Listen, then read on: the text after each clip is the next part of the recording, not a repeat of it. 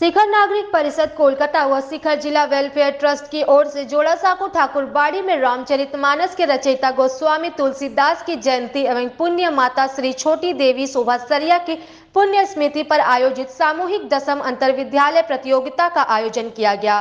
प्रतियोगिता में तेरह विद्यालयों के छात्रों ने हिस्सा लिया। इस मौके पर रूपा एंड कंपनी के chairman Padmashri Prahlad Rai Agarwal, Rupa and company limited के एमडी कुंज बिहारी अग्रवाल, घनश्याम प्रसाद शोभा प्रेम शंकर त्रिपाठी, दुर्गा व्यास, डॉक्टर राश्री शुक्ला, निर्णायकों में डॉक्टर वसुंधरा मिश्रा, डॉक्टर ऋषिकेश राय, योगेश राज उपाध्याय, परिषद के अध्यक्ष रविशंकर सिकरिया सहित परिषद के सक्रिय कार्यकर्ता मौजूद थे। तो अपने देश में ही नहीं, अखबारों में आप भी पढ़ते होंगे कि बहुत से देश रामायण को, रामचरित मानस को अपनाने में लगे हुए चौदह स्थितियों तक पहुँचे थे, इस बार पंद्रह से तैतीस स्तुतियों तक पहुँचे। और ये भी अद्भुत है कि अभी जिस स्तुति का गायन किया गया, राम जी की स्तुति, श्री रामचंद्र कृपालु भुजबंद हर घर में वो स्तुति गाई जाती है, हम सबके जमाने।